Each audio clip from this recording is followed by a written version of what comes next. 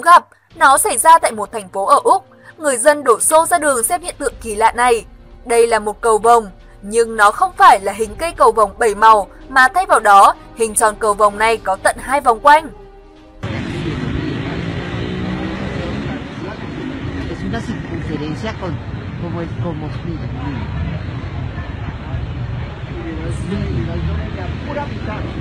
Ajá.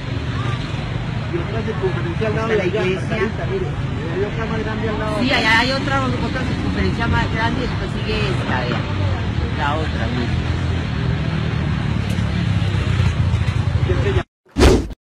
Đây không phải là sự bùng nổ của núi lửa, mà là do khí ga từ các bùn lầy tạo thành từ các hỗn hợp metan, khiến cho nó phải bùng nổ lên ngăn không cho oxy tiếp cận các vật liệu hữu cơ bị mắc kẹt bên dưới. I don't know if you can see it, but if you look right across, right above the green, there's this haze that looks like a gas.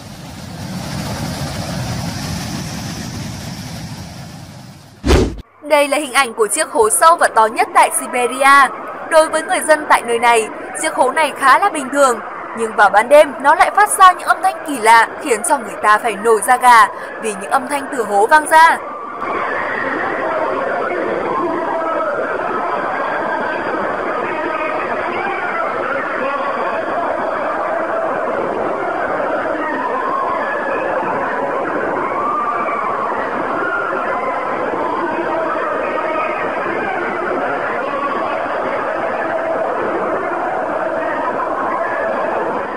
Đây là một cái hố kỳ lạ, được hình thành tự nhiên ở gần bìa rừng tại đất nước Nga. Nó đã hút hết những con sông mà không hề có sự đầy hố.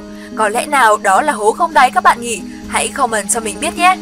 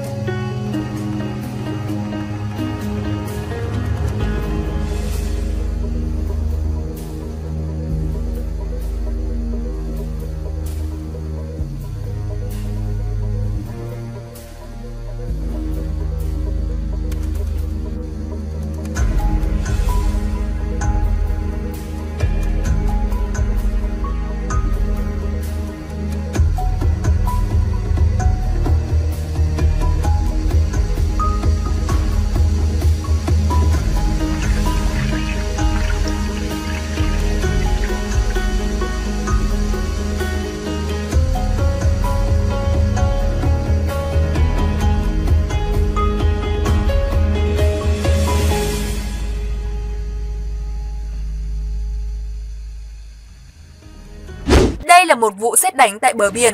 Các du khách rất ngạc nhiên vì cú đánh đó tạo nên một tác phẩm song song với ngọn sét vừa ra tay với họ.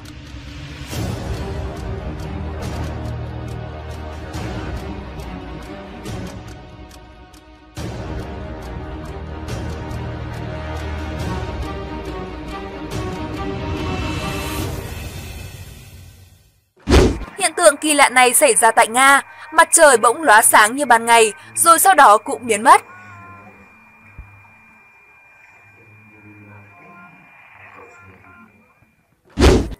Tại Norway, người dân nơi đây đã quay lại được một hiện tượng hết sức kỳ lạ. Tia sáng từ đâu kéo lên bầu trời, tạo thành một vòng cầu xoay quanh. Có lẽ nào là do người ngoài hành tinh gây ra các bạn nhỉ?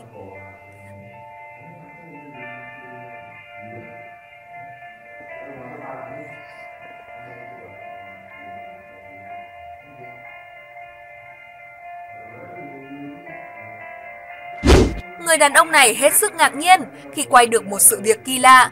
Một tia sáng bên cạnh mặt trời đã di chuyển như một đứa trẻ nghịch ngợm.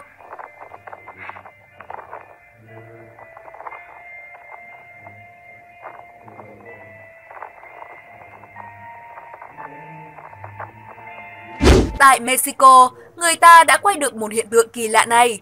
Mọi người còn cho rằng đó là báo hiệu từ người ngoài hành tinh, họ muốn gửi thông điệp đến con người chúng ta chăng?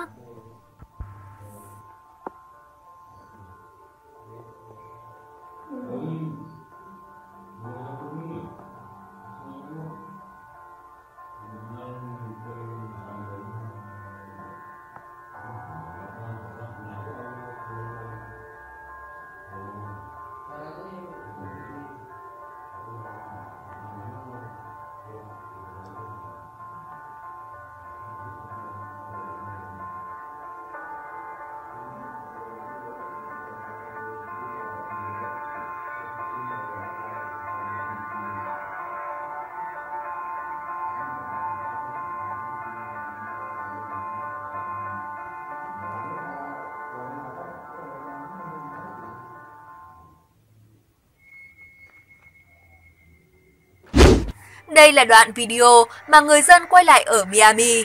Một tia sáng nó lững lờ trên bầu trời, và đầu nó có một tia sáng ra. Có lẽ đó là đĩa bay của người ngoài hành tinh.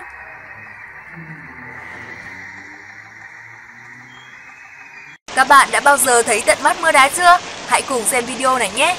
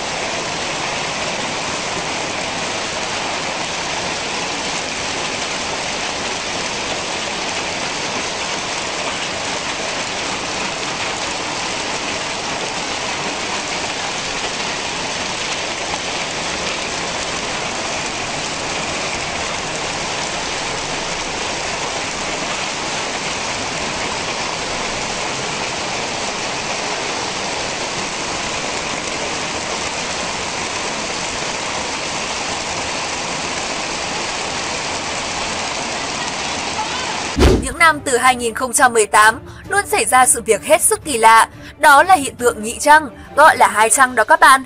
Và hay có những người còn chụp được cả hai mặt trời.